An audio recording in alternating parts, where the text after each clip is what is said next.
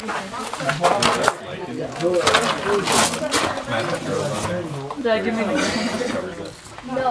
are you guys doing? There's another uh, skinny opening in there. Natalie, where are you at?